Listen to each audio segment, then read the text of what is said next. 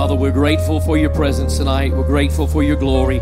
We're grateful for the gift of the local church, the privilege to be a part of the body of Christ on so many levels, Lord. We're, we're deeply grateful for that. Thank you for the beauty of the honor of our worship. Just to exalt you, Lord, tonight. Thank you for your presence in our midst. Move in the students' time together, move in this time in this room. But not just in this room, around the world, online, those that are tuning in at this moment, but those that will tune in at a later moment. Captivate their hearts. May the truth and discernment and power and authority and revelation of the Word of God change us tonight deeply, all the way to the root. Deal with the root tonight. Lord, from every nook and cranny of our mind, all the way down into our shoes. Move in this house tonight. Man shall not live by bread alone, but by every word that proceeds out of the mouth of God. Feed us tonight with the food that the world knows not of. And sadly, much of the church world knows not of. Feed us tonight. Give us what we need that daily bread from the book in the mighty name of Jesus. And the church shouted out, Amen and amen. You may be seated. You can head back to your seat. What a beautiful time of worship tonight. I want to invite you to the book of Matthew, chapter 22, is where we'll take our text for our Bible study this evening. Will actually be several places, about four various places, and I want you to to turn there or turn on there or mark there, notate there, regardless if it pops up on the screen, and normally it does, but regardless, I, I, want you to have your Bibles with you. I want you to be faithful and a discerning student, men and women of the Word of God that study to show ourselves approved unto God. How many recognize that's not just the pastor's responsibility, that's all of our responsibility? We're to study the Word of God together. And so I'm grateful for you. I'm grateful for this beautiful book that we call the Bible. We've already prayed, and so we're going to jump in. Matthew, the 22nd chapter. Uh, let me just say, by way of a context, by way of a, a thoroughfare into this journey, that Jesus in chapter 22 is setting the stage, as it were, for the wildest sermon that ever fell from his lips in chapter 23. And in chapter 23, if you think that you've ever seen a clip of Greg Locke or you've ever heard a Greg Locke sermon that you thought was just a bit buck wild and just a bit too real and raw, you've never read much in Matthew chapter 23. Because in Matthew 23, Jesus looks at the religious people of his day and he says, You fools, you hypocrites, you slow of heart, you double minded, you literal sepulchres full of dead men's bones. And Jesus looked religion in the face and spit. And what you're going to find out, not just in that chapter, but leading into that chapter, is that Jesus and religion are not compatible. And know this and know this well. If you are merely a religious individual, you are lost with rules and regulations, but you've never been redeemed by the grace of the gospel of Jesus Christ. And then he moves from there into Matthew chapter 24, which becomes what we call theologically the Olivet Discourse. He stands on the Mount of Olives, which by the way, Acts chapter 1, verse 10 and 11, it's the very place that his foot went up from. And the angel said, this same Jesus which ye see rising into heaven shall so come again in like manner as ye have seen him go. Meaning by that, when he comes again, he's coming back to Jerusalem. He's not coming back to the White House. He's not coming to New York. He's not coming to Nashville. He's coming to Jerusalem. He's going to set down his foot on the Mount of Olives and the Bible says that when he does, Zechariah says, and the mountain shall split from the east to the west. And he begins to talk about that Olivet discourse and his soon coming in chapter 24. He then moves into chapter 25. He begins to say, Look, you need your own oil in your lamp because you can't have mine or anybody else's. And he tells the parable of the ten virgins. But in the midst of where Jesus is headed, these people, these Pharisees, try to trip him up, as it were, as they did often, because here's what you'll know about critical people they're not interested in answers to their questions, they're interested in being right, regardless of what the question or the answer is. So in Matthew chapter 22, I want you to look, please, at verse number 15. It's where we're going to begin. We're going to take a journey in the Word of the Lord tonight, and so I trust that you'll use your Bible. You're going to need it. Matthew 22 and verse 15, then went the Pharisees and took counsel how they might entangle him in his talk. You see, they lived their life for the failure of other people. You ever heard somebody say, well, you know, I just, I believe it's God's will for me to completely destroy and annihilate another person. That's because you're a Pharisee. You see, a person that makes a big splash to cause as much damage in other people's lives as they possibly can, and then the cop out is, well, you know, God told us to stop, we've done enough. God never told you to start to begin with because what you're trying to do is entangle people in their talk because you are so busy, busy listening to your flesh, you don't have time to hear what the sweet Spirit of God says because religious people do not care who they hurt as long as they prove their point. But that's not the revelation. Verse 16. And they sent out to him their disciples. You see, religious people have disciples. You notice that? It wasn't just Jesus that had disciples. It wasn't just John the Baptist that has disciples. The Pharisees sent out their disciples. Religion reproduces itself. And its offspring is always one generation more wicked than the previous one that birthed it. And they sent out unto him their disciples with the Herodians, saying, Master. Now, by the way, that was fake as could be because they did not believe that word when it fell from their mouth. That was all hypocritical nonsense. That was a smokescreen. Master. They did not believe any such thing about Jesus.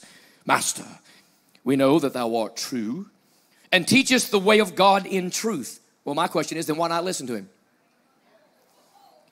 If you really believe he teaches the will of God and the way of God and the word of God, then why don't you listen to him? That's why in the American church, people say, Oh, I believe what the word of God says. Then why don't you obey what the word of God says? You do not believe it if you do not behave it. And so it simply says, You teach the word of God in truth. Neither carest thou for any man.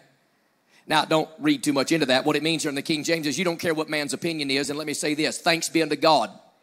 Because the fear of man brings a snare. So sometimes people say, well, you know, Greg Locke, you just say things sometimes and you just act like you don't care what people think. I don't. I learned it from Jesus. My Savior taught me that. He does not care about the vote of the nation. He does not care about the vote of confidence or the lack thereof. He's not interested in signing Bibles and writing best-selling books. He did not care what religion thought about him. And the reason the church in this nation is woke is because we're more in line with religion than we are relationship with Jesus. We're afraid somebody's going to say something about us. Let them talk. And more importantly, let them walk. How many times do I have to teach this congregation and teach my own heart and my own family? If people can easily walk away from your life, do not stop them because if they don't walk tomorrow, they'll walk in six months. Let them walk and let them talk because the chatter doesn't matter. So you don't regard the person of any man. Verse 17. Now things get weird. Tell us therefore, what thinkest thou? Is it lawful to give tribute, pay taxes as it were? Is it lawful to give tribute unto Caesar or not? So these religious zealots said, Hey guys, come here. We got to figure out a way to craft a conversation that makes us look intelligent and makes Jesus look ignorant because he's stealing our Sunday school crowd. And more people are going to his meetings than are coming to our meetings. And we've got to make it like we are sincere in our questioning, but we've got to be able to trip him up in his theological verbiage somehow. You tracking with me? That's what they're saying. So they said, Is it lawful to pay your taxes? Is it lawful to give tribute unto Caesar? We know this story. We've heard this story, but throw on the theological Jake brakes because Jesus said something that blew my spirit apart when I noticed it this afternoon for perhaps the first time in my life. But Jesus, verse 18, perceived their wickedness. Now, we haven't even got there yet, but I think it's interesting that Jesus saw the, the body language and heard the verbal language of extremely strictly religious people. And when he looked at what they were doing, Jesus said that their religion was wickedness. That's a Jesus mic drop moment. Jesus perceived their wickedness. Do you know why the church as we know it, I'm preaching to the choir tonight, but I'm talking about across the board and around the world. Do you know why the church is powerless? Because it is filled with religious wickedness. It's filled with people that preach cute sermons in the pulpit while they sleep with other women as they travel around the nation.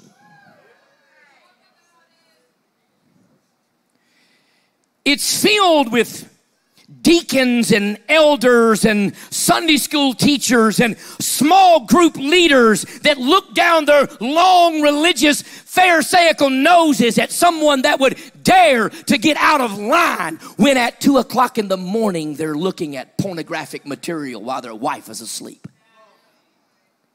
And you better know something Jesus perceives your wickedness.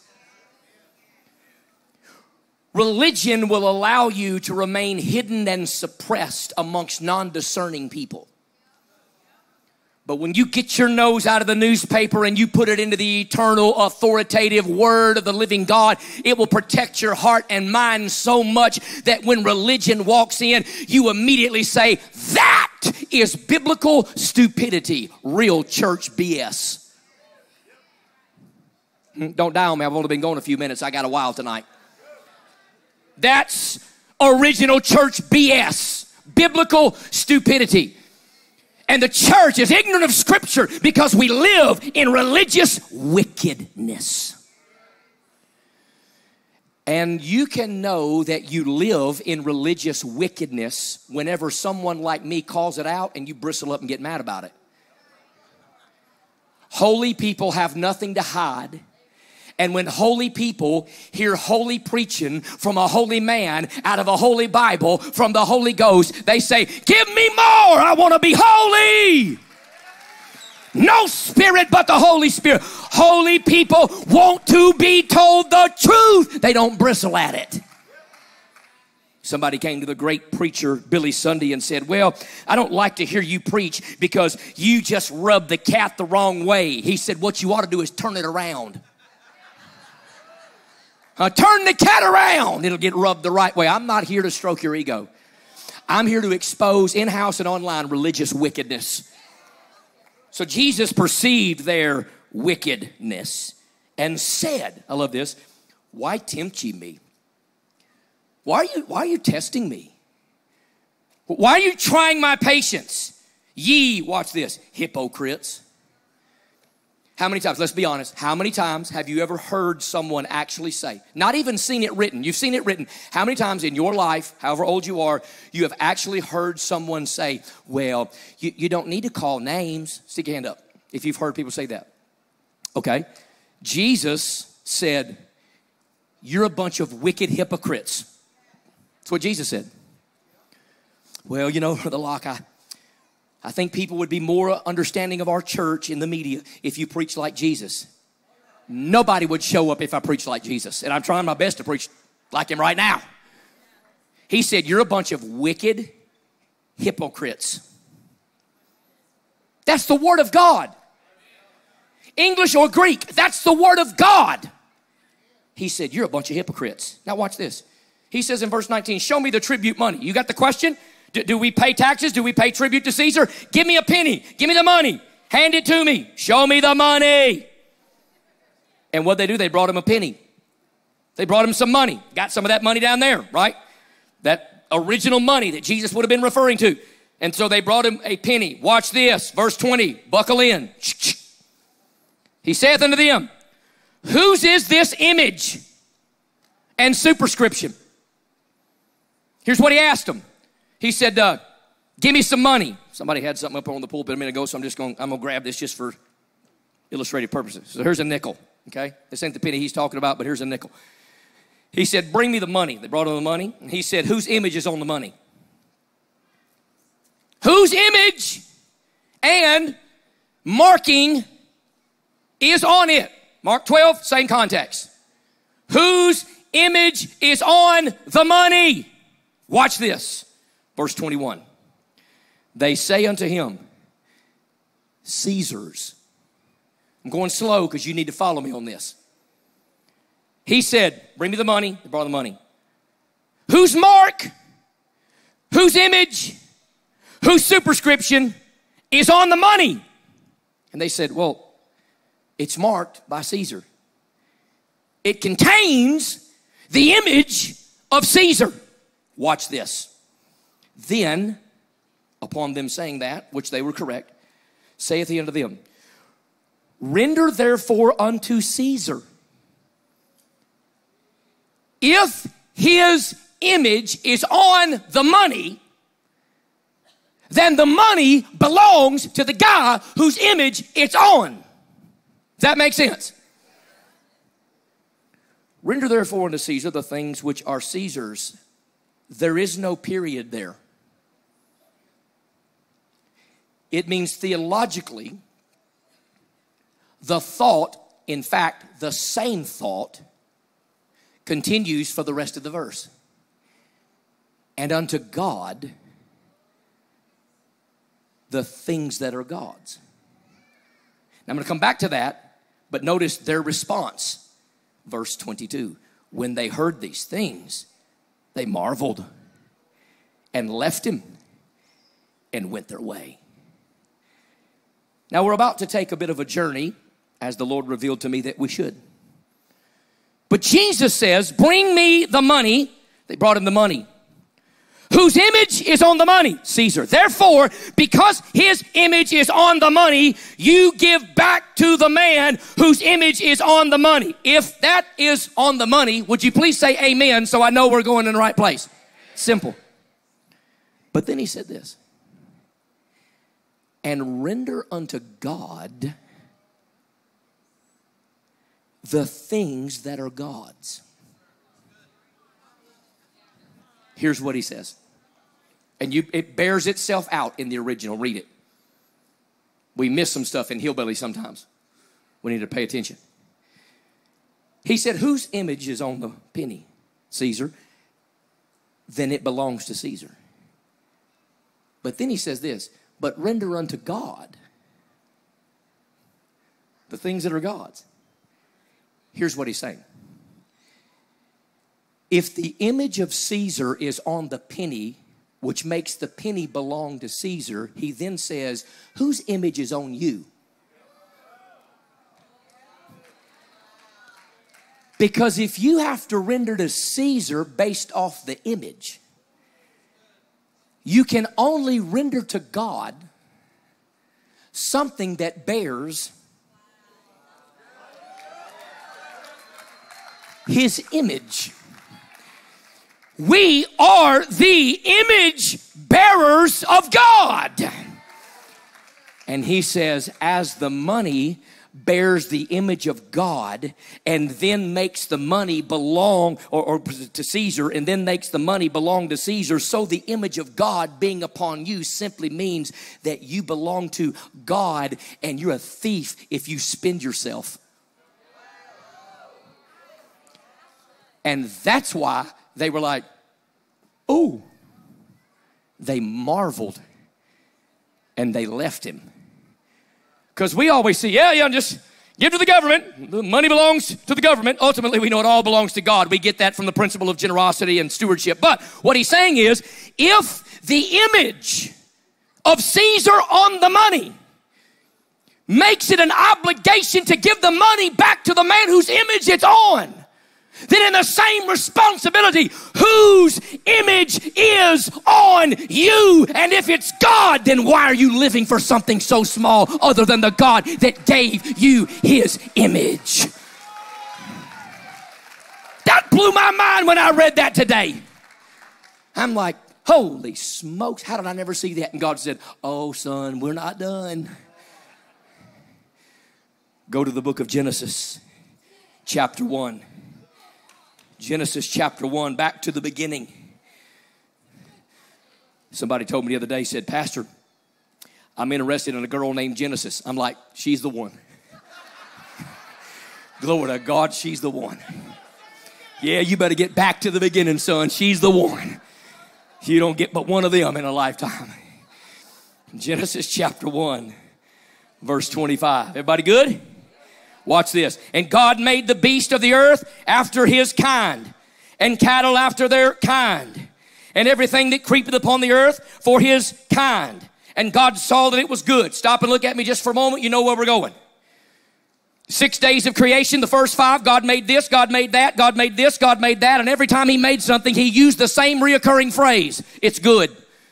He made a cow, He said it was good. The heavens declare the glory of God. He made the sun and moon. He said it was good. He made the stars. He said it was good. Everything that he made. He made a river. He said it was good. He made a tree. He said it was good. He, made a, a, chameleon. He said it was good. He made a dinosaur because they're in the Bible. He said it was good. It was good. It was good. It was good. But when he stopped and made man, he said that is very good. Why? Because man is separate from the animal kingdom. You see, it says plainly, King James, animals are made after their own kind. An animal's image is based off a previous animal's image, but not man. By the way, that's why the devil can't stand you. Because Isaiah 14, Revelation 12, and Ezekiel 28 do you know why the devil cannot stand you? Because he was kicked out of heaven. And because he was kicked out of heaven trying to steal the glory of God, you are made in God's image for God's glory, and you have now infiltrated the camp of what the enemy wanted to begin with. Because cherubims, which then became fallen angels, demonic principalities, powers, lying signs and wonders, spirits as we would call them, demons, whatever name tag of identification, they were created not in God's image. They were created in just a special angelic way. And then God says, I will make man so special that he will be set apart from the animal kingdom and he will be set apart from the angelic realm. Watch this. That's what the Bible says. Verse 26. And God said, I love it when God talks to himself in the Bible. This is beautiful. And God said, Let us, notice that? Let us make man in our, what's the next word? Image. An animal's image isn't on you. A Big Bang image isn't on you. A Mother Earth image isn't on you. The devil's image isn't on you. You are not born in the likeness of an angel, you are born in the likeness of a holy God. We bear his image after our likeness, middle of verse 26, and let them, this man made in God's image, have dominion over the fish of the sea and over the fowl of the air. You see, deliverance is what we do now because we fell from dominion. But deliverance was never the will of God. Dominion was the will of God. So now that we get deliverance, it's time to move on to dominion and take over and take back what God created us for to begin with. You weren't created for deliverance, you were created for dominion. And, and by the way, did you know when you see animals, they know that. That's why deer jump away. That's why rabbits run away. That's why squirrels, that's why they go up a tree. That's why you can't just walk up and catch a bird unless it's super domesticated. Because animals have been given an understanding from the sovereign God of the universe that you are over them because you are made in God's image, not their image. Although I know a lot of church people with bird brains say amen right there. But he says, Man, I got Ron laughing tonight. I heard that one. Praise God, I'm doing something. I'm on a roll. But he simply says that you're going to have dominion over the fish, the fowl, the cattle, all the earth, over every creeping thing that creepeth upon the earth. Verse 27. So God created man in his own what? Image. And then notice this in the image of God created he him. And then, just because this book, Wild Civilization, can't figure it out, God plainly said, male and female created he them.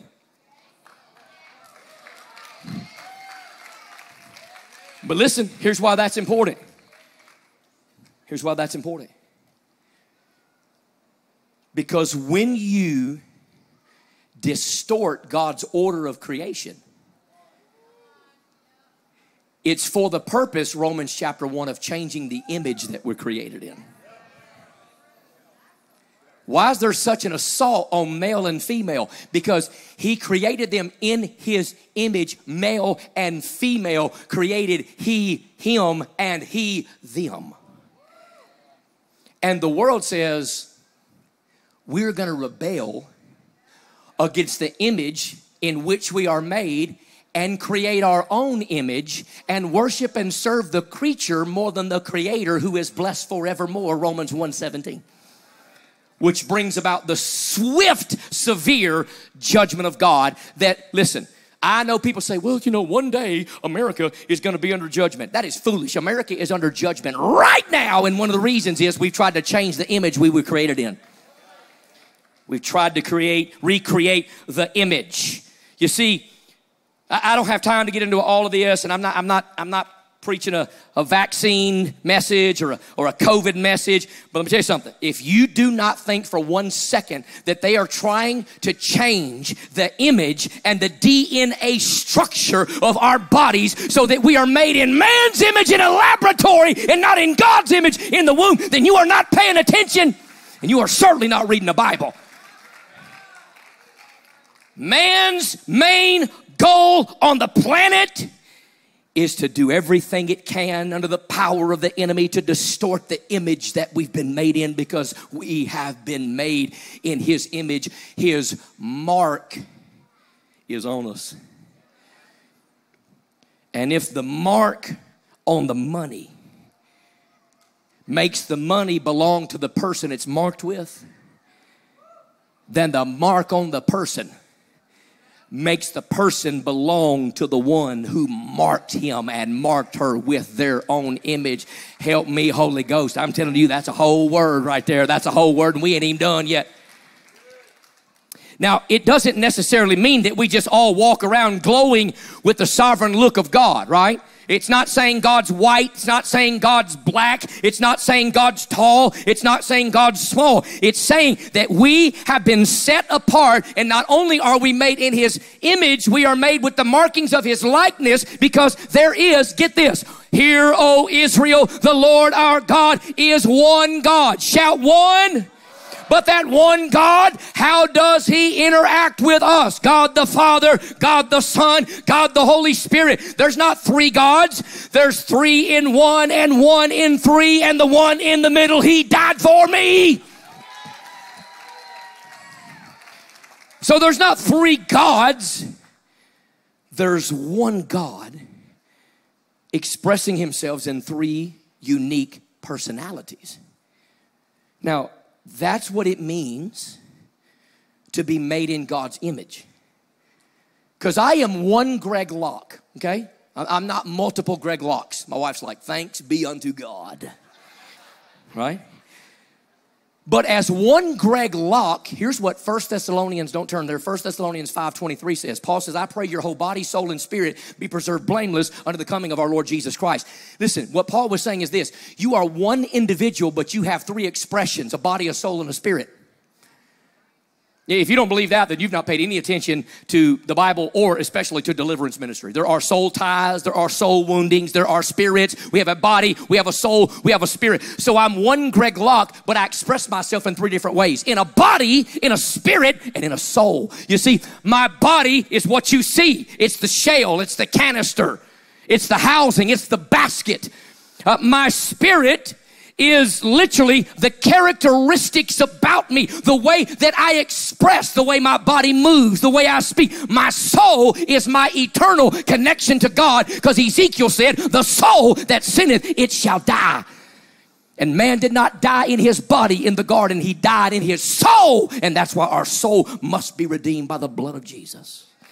Whole nother message. But we are made in God's image. That's why the apostle Paul could come along under Holy Ghost inspiration and say in 1 Corinthians chapter 6, what know ye not that your body is the temple of the Holy Ghost, which you have in you, and ye are not your own. You're what? You're not your own. Therefore, because of the fact that you're not your own, therefore, glorify God in your body and in your spirit, which through the connection of your soul are God's. Now, wait a minute. God just told us something that you need to sink your theological teeth into. And that is this He owns you by virtue of the fact that He made you. And because He made you and marked you with ownership, you're a thief to live your life for anyone other than the one that marked you for his own purposes and his own glory. I read some time ago, maybe you've heard me tell this story, I haven't told it in years. Little boy named Johnny Turnbuckle. Little Johnny was a creative genius and Long story short, one Saturday he went and he built a boat out of spare everything around the house. Just found spare junk. Built a boat. Took a little number two pencil and made a mast and then made a little sail out of some fabric that he found in his mama's top drawer. And then he slipped into his sister's room and in her makeup drawer he got himself some lipstick and went over there to that boat and on the side of that sail of that boat. He put J period, T period, Johnny Turnbuckle. He marked his boat. He put a little Pepsi Cola tab on the top of it, nailed it down, tied some kite string to it, and decided to take it to the local lake. Johnny goes out and he gets his little boat and he takes it out there to the local lake and he puts it out five feet and he puts it out 10 feet and he puts it out 25 feet and he puts it out almost 50 feet, the length of the kite string. And little did he know, not watching the meteorologist, that the storm began to ensue. And all of a sudden, as the waves and the billows began to come up in that little local lake, it snapped the kite string and there goes the boat that he had diligently worked all day on and his heart sunk. He went home far more defeated than he walked to the local lake. Days went by, weeks went by. One day, Johnny was walking past a local toy shop. And he looked in the window, and what did his wondering eyes behold? But behind the main glass of the shop, under a cellophane wrapper, was the boat he had made with his own hands. He ran inside that shop. He begged that owner, Give me my boat back, give me my boat back. He slowed him down and said, Now, Johnny, listen. A little girl came in here a couple of weeks ago and said she found this boat on the shoreline of the local lake when she was feeding the ducks. And I gave her $10 for this boat. And I'll tell you what, I'll take this boat and keep it right here as long as it takes. But in responsibility, you're going to bring a $5 bill that was such an insurmountable amount of money to this little kid, but he was willing to do it. He sacrificed, he brushed his teeth, ate his peas and carrots, scrubbed the toilet, made his bed, did his homework, everything he could. A couple of weeks went by, he made himself enough to have $5 The store opened at 9 a.m. on a Saturday. He was there at 8:15, pacing back and forth like a soldier on parade. And finally, the bell began to ring, and the store owner opened it up. Mr. Smith said, "Come on in, JT. Come on in, Johnny Turnbuckle." He ran in there. He threw that money down. He said, "Give me my boat. Give me my boat. Give me my boat." He said, "Slow down, son. I'm gonna get your boat." You kept your end of the bargain, I'll keep mine. He goes over, and he takes that wrapper off the top of it, blows the several weeks and now over a month worth of dust off of it. He puts it in Johnny's arms, and Johnny grabs it and puts it in his arms like it's a little poodle dog. He begins to kiss the sail. He begins to rub that little boat and make sure it's not messed up and in, in, endangered in any way at all. And he says, Thank you, sir. Thank you. Put it down for a moment. He hugged that man around his waist and picked that boat back up and began to cradle it like a little baby. Kicked the door open with his foot. He began to walk out. Just as the door was coming closed, the shop owner heard little Johnny say, Oh, little boat, I love you. You're twice mine. First, I made you and then I bought you. And the Holy Ghost blows through this room and online tonight and says, You know why I love you? Because first I made you and then I bought you. You bear my image. How dare you live as a thief for yourself? How dare you live as a thief? Go to the book of Galatians for a moment, would you? Just for a moment. Galatians, the final chapter. Number six, Galatians 6. Just give you an overview of what God gave me. You can study it and bear it out yourself. Galatians 6, Paul has given some insight to what Acts 19 and 20 talked about. He was a night and a day in the deep. He was cold, he was battered, he was hungry, in famine, in perils, in nakedness, perils of religious people. They beat him 39 stripes, save one on several occasions. They beat him, they, they hurt him. Eventually, the only way the Roman government could shut him up was to chop his head off. You got to stop this man. Chop his head off. But just before they did, do you remember the final thing he wrote? He wrote what we would call his swan song to Pastor Timothy, who pastored the church at Ephesus. And he said, Timothy, henceforth, there is laid up for me a crown of righteousness, which the Lord, the righteous judge, shall give me in that day, and not unto me only, but unto them also that love is appearing. Preach the word, be instant in season, out of season, reprove, rebuke, exhort with all long suffering. For the time will come when they will not endure sound doctrine, but after themselves heap to themselves teachers, having itching ears, and shall turn their hearts away from the truth. But watch thou in all things, do the work of an evangelist, make full proof of thy ministry, for I'm now ready to be departed, and the time of my departure is at hand. I've fought a good fight, I've kept the faith. I finished the course. Henceforth, God's got a crown for me. And not just for me, but for everybody that serves him and follows him and looks and longs for his appearing. So here's what Paul said. He said, Timothy, let me share something with you, Junior. The Roman government is about to chop my head off. And down the steps of the emperor's palace, my head shall roll but he said, Timothy, don't you shed a tear for me because God's going to walk over, pick it up, and put a crown of life on it. Just keep preaching even when they don't want to hear it.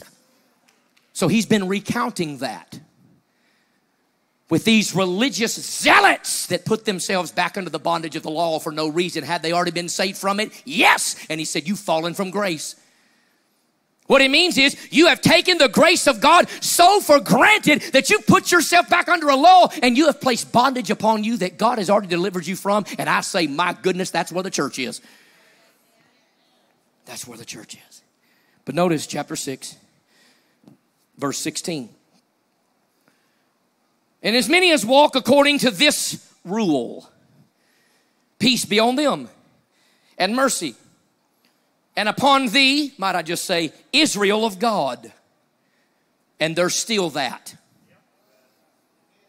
Verse 17. Whew. From henceforth, let no man trouble me, for I bear in my body the marks, the image of the Lord Jesus. He said, Make no mistake, when I die, people will be amazed at the marks in my body, the brandings, the bullying,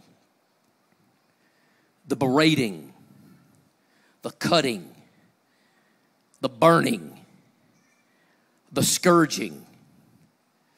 He said, I bear in my body the marks. See, I don't want to hear nothing about persecution until somebody knocks your tooth out for Jesus. I don't want to hear about persecution until you're in a jail cell. I don't want to hear about persecution until they got a gun to your head or they sawed your big toe off.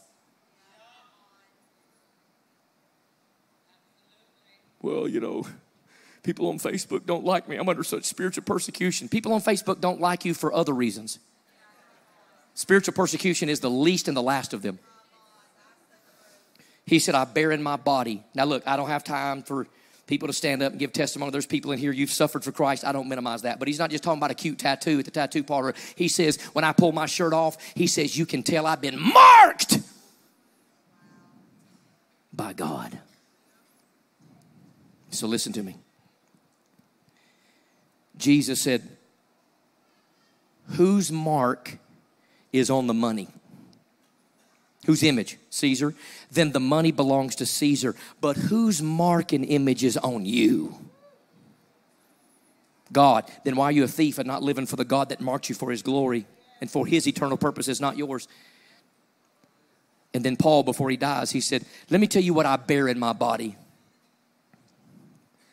the marks of the marker, the images of the image giver. Because I'm going to tell you something, it's not going to be fun, but it's the facts. If we have been marked by God, we will be identified by marks for God.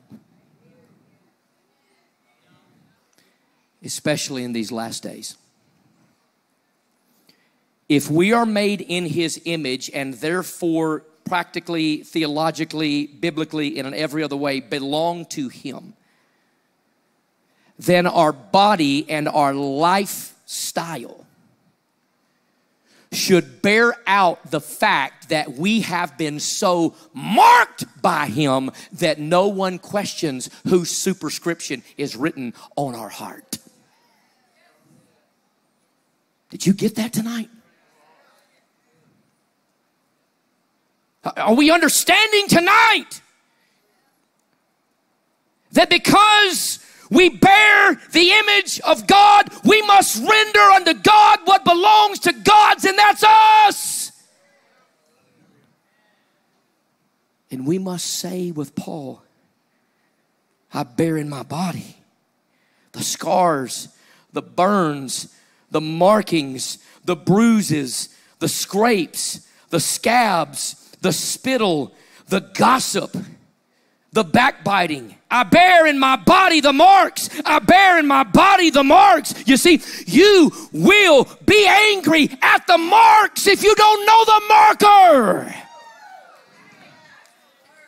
You will not escape Christianity without being bruised.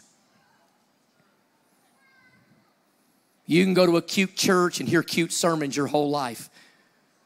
But when you are marked, you, God, and the devil and everybody around you will immediately know it.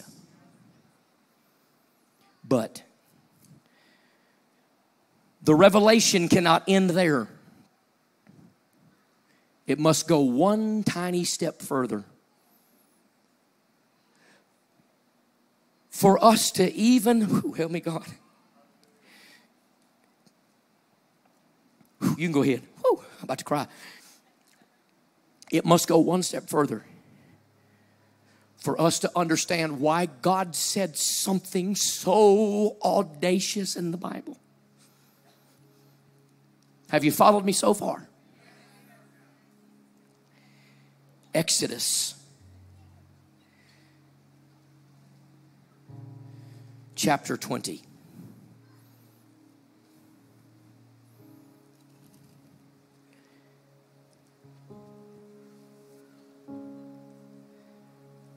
I'm about to have a come apart.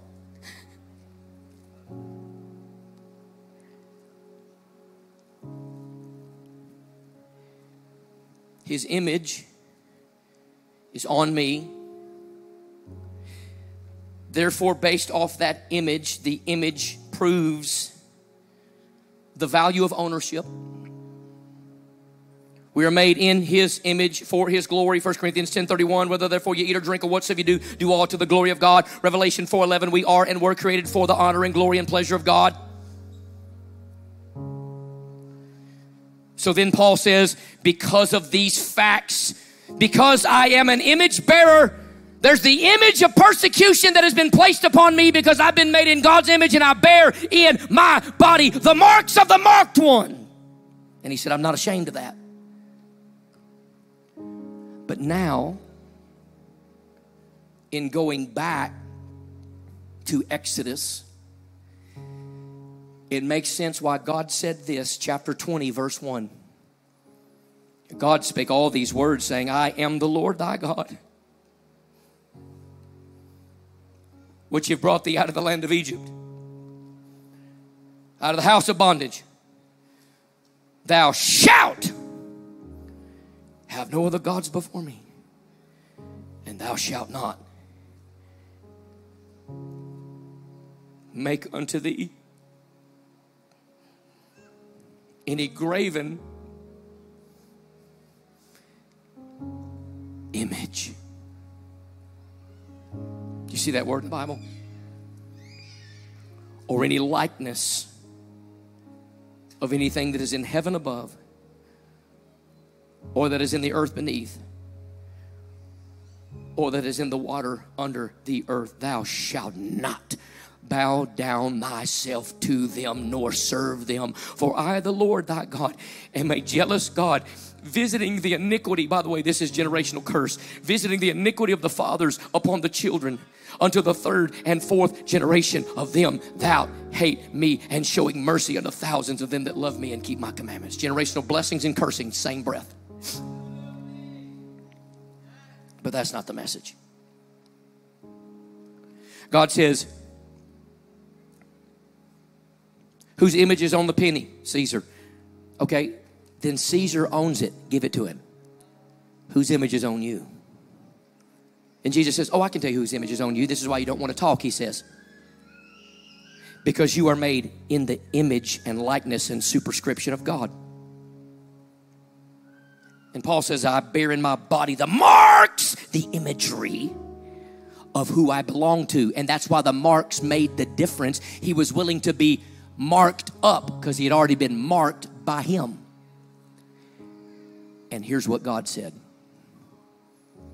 Whose image are you made in? God's. And if that be the case, and it gloriously is, thou shalt not make another image. You were not made in the image of a stone God. You were not made in the image of your favorite hobby. You were not made in the image of money. You were not made in the image of popularity, fame, fear, family, friends, or foolishness. You were not made in the image of sports. You were not made in the image of a car. You were not made in the image of a basketball. You were not made in the image of any of these things. You were not made in the image of Twitter and Facebook and TikTok and Instagram. You were not made in the image of your job or your boss. You were not made in the image of the church that you attend or the denominational tag that you fly or the t shirt that you wear. And God said, Israel, I cannot allow you to worship those images because you were made in this one. And tonight, when we were singing about idols, I thought, holy smokes the American church is an idol factory. It's an idol factory. We worship the way we do things. We worship the people that do those things. I believe in respect, I believe in honor. But you're not made in my image. And tell some of you parents something. It's a hard lesson, but it's the fact. You're not made in your kid's image. Stop worshiping your kids.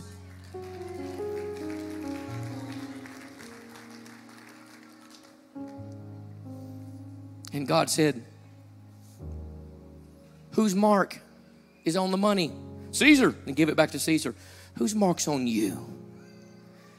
God's. Okay, then why are you serving other ones? And that's why God could very clearly say in what we would consider the Decalogue, the first of the Ten Commandments, the first two. He says the most blatantly blasphemous, hypocritical, disobedient thing that you could ever do is conform yourself to an image that didn't make you. To submit your life to an image that was never the will of God for you to be conformed to. And we have lived our entire lives trying to fix our image. When all we have to do is walk in the one that we're already made for. And some of you tonight have idols that you're going to have to lay down at this altar, and that is your invitation right now, this moment. Stand to your feet all over the room. You don't have to bow your heads. We're going to worship the Lord. I'm telling you right now, there's some idols that need to come down. There's some things, there's some images that you've been worshiping, some things that you've been involved in, some stuff that maybe it's good, but it's not God. You are not made in the image of good stuff. You are made in the image of God for His glory. And you ought to come and say, God, right now I lay my job down. Right now I lay my truck down. Right now I lay my family down. I lay my bank account, my savings, my 401k. I lay it down. I lay my ministry down. I lay my gifting down. I lay my singing, my preaching. I lay it down. I lay my kids down, my grandkids down, my great grandkids. I lay my dog, my cat. I lay it all down. I'm made in one image. Do you bear in your body the marks of Jesus? If not, why not? Stop praying for the power of God and then being mad when persecution shows up at your doorstep. We're a marked people. He's marking us with His glory. He's marking us with His power. He's marking us with His presence. He's marking us with the miracle signs and wonders of the supernatural. We sing that song. Don't sing it tritely. If you want to be a person that walks in the supernatural, you will bear in your body the marks of Jesus. You will carry the image of the image in which you were created to carry. Thou shalt have no other gods before me. Thou shalt not make unto thee any graven image. Why would he use such a word? Because we were not made for them, we were made for him. And the cry of your heart will never be satisfied and fulfilled when you are bowing down to an image that did not create you. So let's just press in for a moment. Let's worship Him. Let's just honor Him. You take your time at this altar. You let this word sink in. You go back, you watch this word again. You, you go over your notes. I'm telling you, tonight, God's marking people in this room. He's marking people in the hubs. He's marking people online. He's marking us. By the way, isn't it interesting? This is just coming to me. I'm not going to preach. That in the last days, God, the Bible says, when the 144,000 Jewish fiery evangelists hit the earth, He marks them with an image upon their forehead. And then the Antichrist shows up and says, Huh, let me change God's image and mark you in your face with my image. You see, the devil hates the image we were created in, he hates it.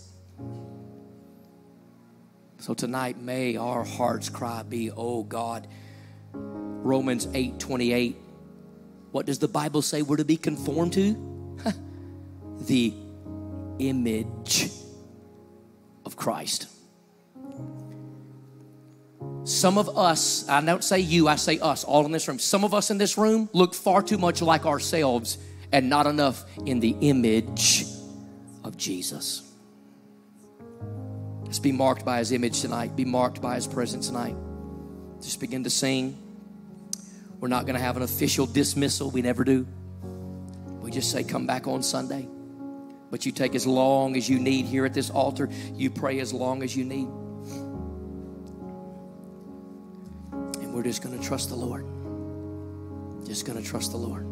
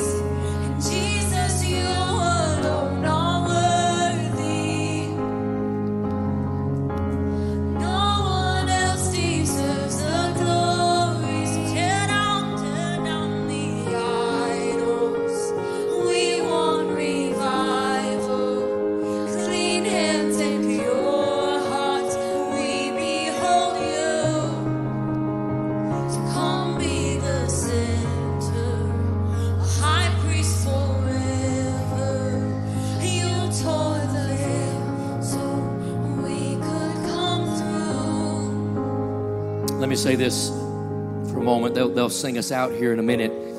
But uh, I, I, don't need a barrage of people, but I, I, need people that are, are serious. This, this is not a building situation, but it is a situation with the building that I need some help with. And it won't be tonight, but I do need to dispatch you uh, tonight. So, any man in this room, right? Any man in this room, I, I guess ladies as well, but I, I, I want to put this out for the men. This ain't going to be applicable to anybody online unless you're driving in, right?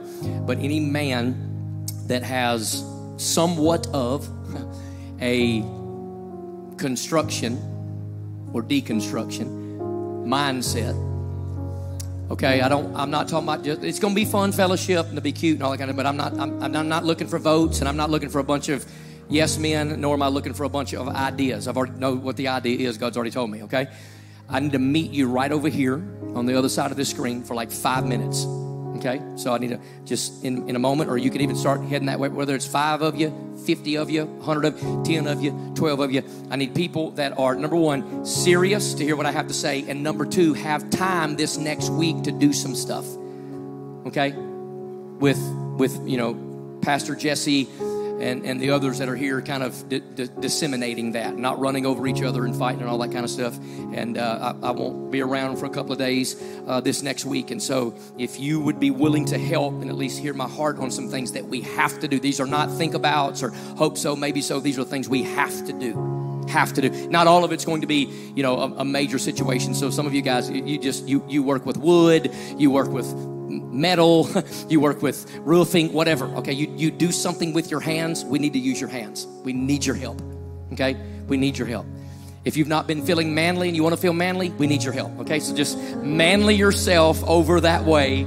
And, uh, and again, you're going to need to the want to and some time over the course of the next week to be here at various opportunities. Okay? And so I'm going to explain that to you in just a moment. It, would be working backwards to try to explain it to everybody. It's not going to help us. So just begin to make your way over that way. And again, just going to let them sing us out. We love you guys. We'll see you this weekend. God's going to do amazing, amazing things. I love you. Thank you for being here tonight, online community.